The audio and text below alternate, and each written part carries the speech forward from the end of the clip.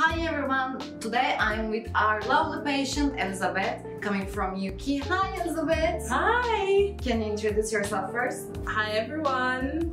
I'm Elizabeth. I've come to Medaway for some liposuction and I hope for the best. I hope so too. And how was your experience in our clinic? Was it good? I loved the experience here. The people here are so nice. They're really friendly.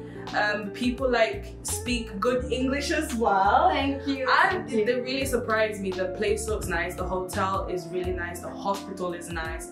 Everything is going well. If we make you feel happy, we are more happier than you. Believe me.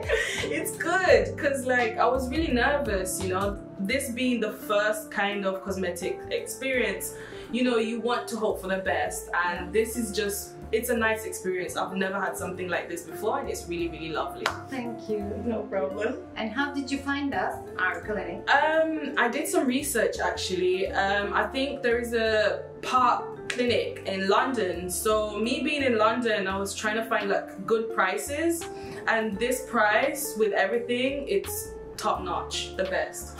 So good. So can't wait to see the results. I can't wait. Thank you. Thank you from our side.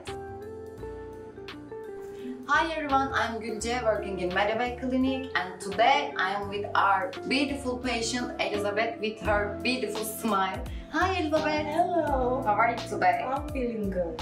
Your operation finished before two days and you stayed for two days in hospital. Now how do you feel? Can you inform about your operation to us? My operation was a success. I got what I wanted.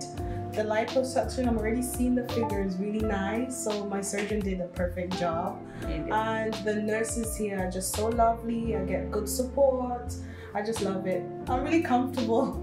Perfect. If you're happy, we are happier than you. You know, and Yeah. we love you so much. Please come back again. I will. Please, we are waiting you. okay, no problem. Thank you. Thank you from our side.